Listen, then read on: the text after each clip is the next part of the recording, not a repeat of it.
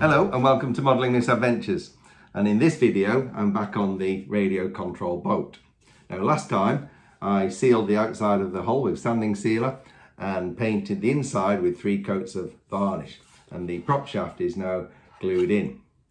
Now in this video I'm going to have to turn my attention to trying to make this look a little bit more like a Chris Craft Corvette rather than an Aeronaut Victoria. Now here's a picture of a real Chris Craft Corvette and you can see it's got a white hull and a wooden superstructure and a white roof.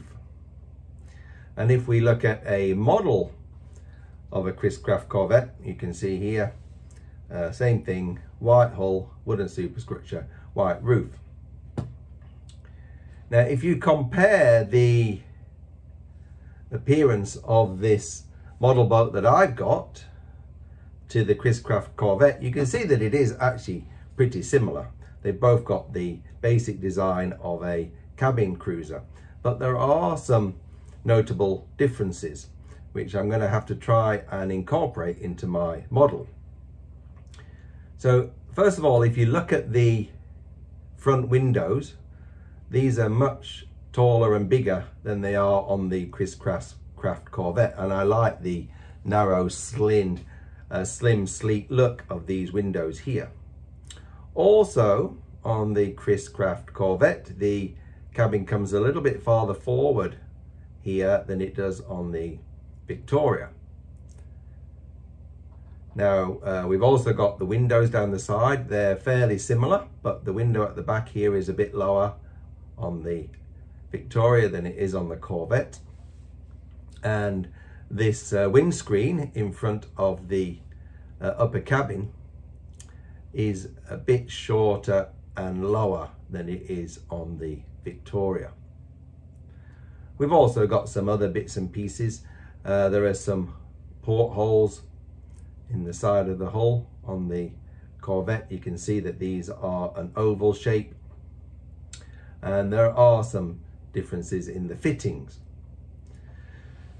So if I'm going to convert this into this, it's going to require a little bit of plastic surgery. And uh, I'm going to have to be very careful that I don't actually ruin the boat in the process, but I'm just going to see what I can actually achieve. Now, if you look at this picture here of the two side by side, this is going to just help me uh, with some of the dimensions and measurements. Um, I can superimpose the Corvette on top of the Aeronaut and you can again see some of these features highlighted. The upper windscreen is a bit farther forward, the uh, front windscreens are a bit farther forward and lower. Um, but much of the general shape and outline is about the same. So the first thing I'm going to do is put some little portholes in the side of this hull here. Now I've 3D printed these uh, designed these on Tinkercad and uh, printed them out.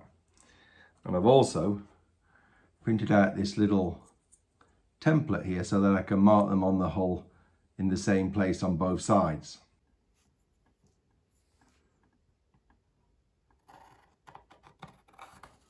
Gonna drill these out now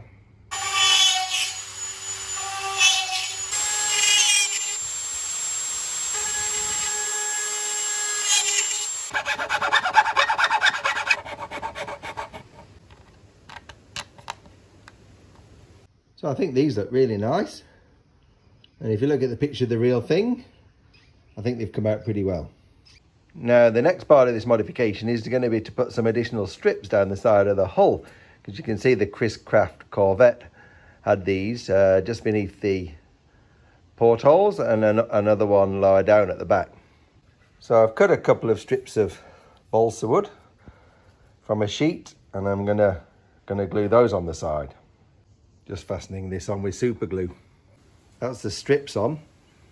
Now they look a bit rough and ready, but they'll be a lot better when they've been sanded to the right shape.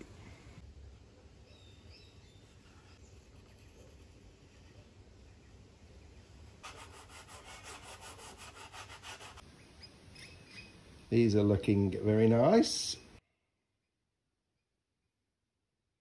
Well, this is finally ready for its first coat of paint. Got the hull sanded, sealed, these strips put on, portholes drilled.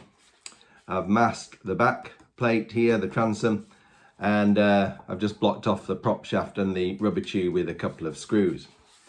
So this is now going to have its first coat and I'm going to use Rust-Oleum Flat White Primer. Here we go.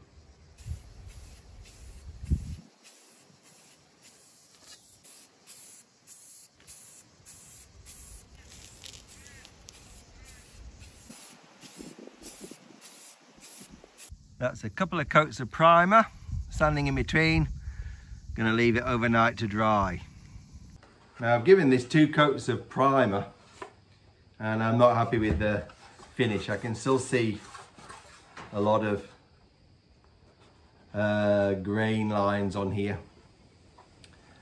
Um, so I'm gonna put another coat of sealer on it and see if I can get that smoothed out. So I've made a really thick mix of dope and talcum powder.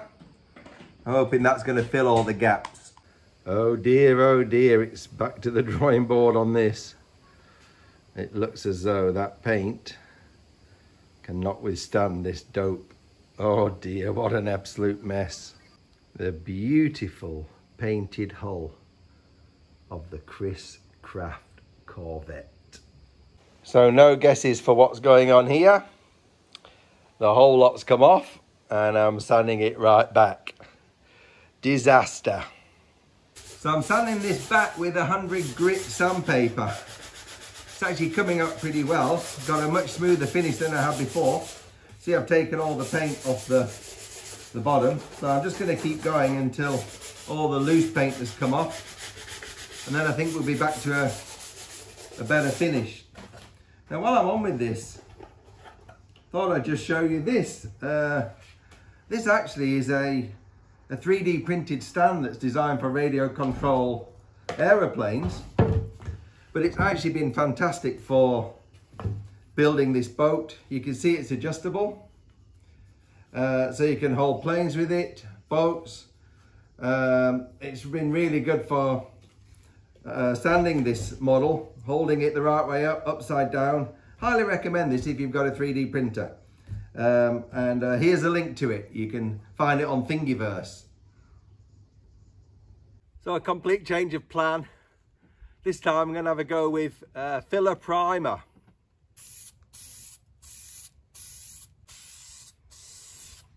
So that's the finish after the first coat of filler primer. Now I know it looks very sort of mottled and rough, but it has got rid of all of the grain lines. So when that's sanded, I'm hoping it's going to be much smoother than it was before.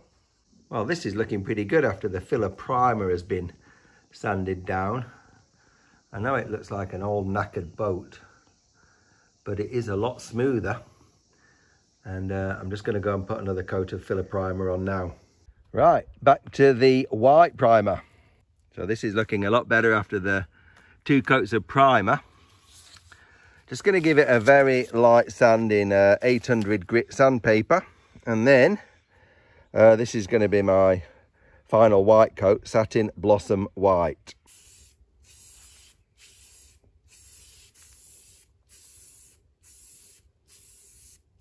Well, I've got the white coat on and pretty happy with how this is looking now. So uh, next stage, I'm gonna mask off the side of the boat and paint the bottom red.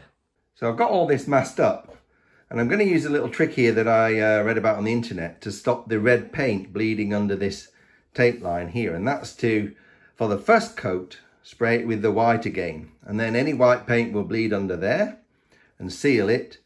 And then when you put the red one on, hopefully there'll be no uh, bleeding.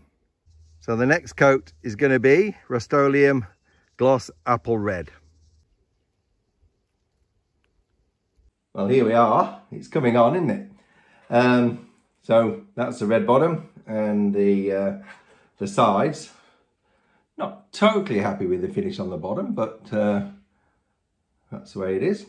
Uh, so next up, I am going to spray it with gloss clear coat going to put a few coats of this on um, and then try and make it look really nice.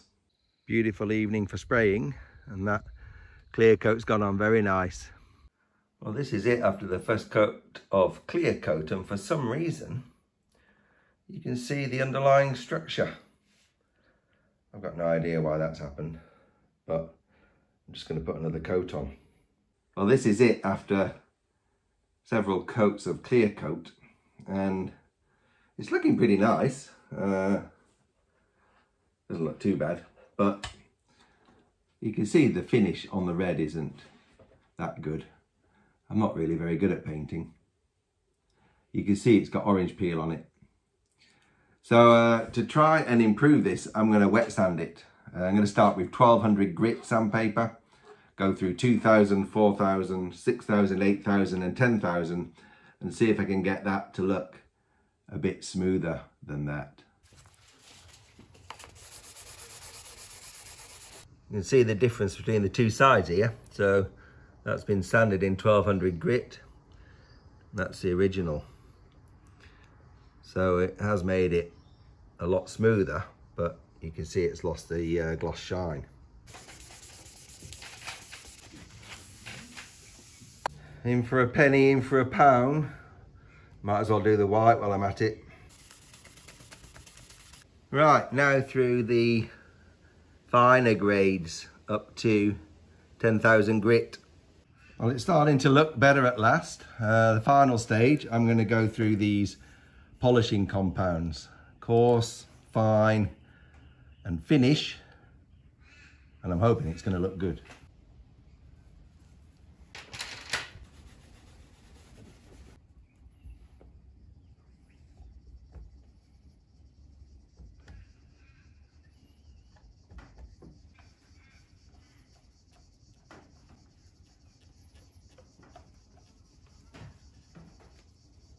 Well, after a lot of work, I'm hoping that this is going to be the last step. The finish polishing compound. Well, that's it. And I reckon that's as good as I'm going to get it.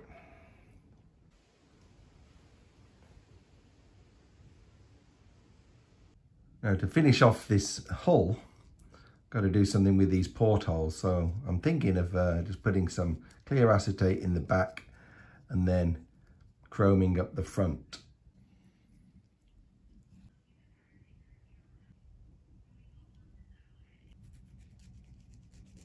Right, I'm going to try this liquid chrome pen on these portholes to see if that looks any good. Not happy with the finish on them. So I'm going to try chrome paint instead. All right, let's give this a go.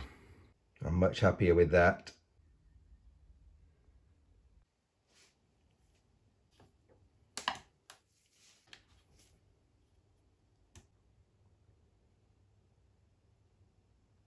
Now lastly, I'm just going to put this glazing in with a bit of glue and glaze. Well, am I glad to get to this stage. So after a lot of trial and tribulations, uh, I think the hull is finished and uh, it's not looking bad. Uh, and I think the portholes have come out all right. So there we are something looking a bit like the hull of a Chris Craft Corvette. So that's where I'm going to leave it today. Uh, in the next video, I'm going to start going on to the superstructure. Uh, but for now, I'll thank you for watching that ordeal. Uh, hope you enjoyed it and I'll see you next time on Modelling Misadventures.